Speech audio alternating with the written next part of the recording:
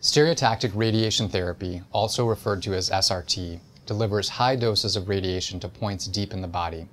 SRT offers tremendous promise for treating certain forms of cancer quickly with improved accuracy and improved local control. A higher degree of precision and an increase in dose separates the stereotactic approach from conventional radiation therapy. Additionally, the number of treatment days for SRT are fewer, and many potential side effects may be significantly decreased, if not eliminated, with SRT.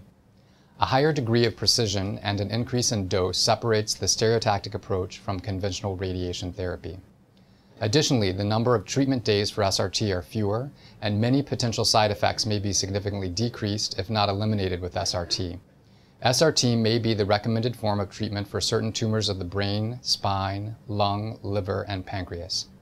Specifically for colorectal cancer, SRT is now being used to treat metastases that have spread to the liver and lung. Colorectal cancer is a unique malignancy in that patients can still be cured of the disease if it has spread in an isolated manner to the lung and or liver as long as the disease at those sites is eradicated. In the past, this was accomplished by surgical resection of the liver or lung lesions. In recent years, SRT has emerged as a non-invasive alternative to surgical removal that can be given entirely in the outpatient setting. Recent studies suggest that the ability to control the tumor at the treated site is comparable to that seen in surgical series. If you feel that SRT may be appropriate in your case, the process begins with a consultation with your radiation oncologist. The doctor will review the results of your CT, MRI, or PET scan and order any necessary additional studies.